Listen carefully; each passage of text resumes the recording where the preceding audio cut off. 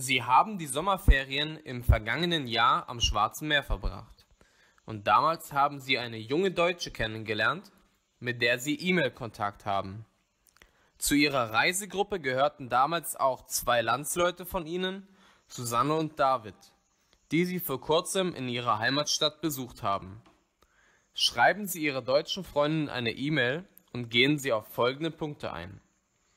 Ihr Besuch bei Susanne und David in Lyon was Susanne macht, was David macht, Bettina, die kleine Tochter von Susanne und David, ihr neues Hobby.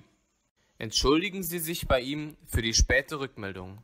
Erzählen Sie ihm von Ihrer neuen Arbeit. Schlagen Sie ihn vor, Sie einmal zu besuchen. Lösungsvorschlag.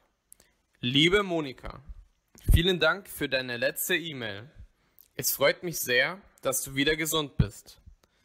Letztes Wochenende habe ich Susanne und David besucht. Erinnerst du dich noch an die beiden? Sie wohnen jetzt in Lyon.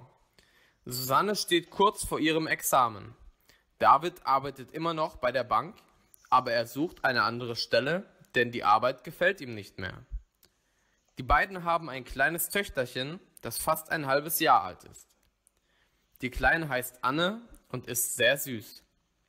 Aber sie kann auch ganz schön schreien. Es war ein schöner Tag und ich soll dich herzlich grüßen. Übrigens, ich habe ein neues Hobby. Ich habe mir ein gebrauchtes Surfbrett gekauft und lerne jetzt Windsurfen. Das macht viel Spaß, ist aber nicht ganz einfach, weil der Wind am Meer oft sehr stark weht. Ich hoffe, ich sehe dich bald wieder in meiner Heimat. Viele liebe Grüße, dein André. So, das war's dieses Mal wieder mit dem Video. Ich hoffe, es hat dir gefallen. Vergesst nicht, ein Like dazulassen, einmal unten einen Kommentar dazulassen. Ja, was hat dir besonders gefallen?